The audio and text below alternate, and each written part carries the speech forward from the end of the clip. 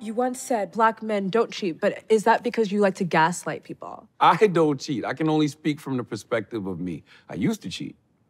I did. Oh, but you're a different person now. I forgot. Yeah. Just like I'm a different person with my little blonde wig. So black And- men don't cheat today. this black men don't. Black boys may still cheat.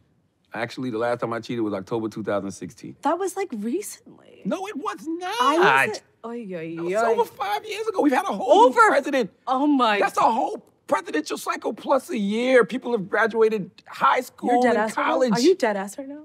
very dead ass? All of this Good. therapy I've Good. had for no reason. You're bringing me back to places I don't want Well, to you go. know, actually, I'm asking because it's like I don't know if you hate black women or not, and I want to know if you work through that through therapy. don't don't don't pause it and put he hates black women.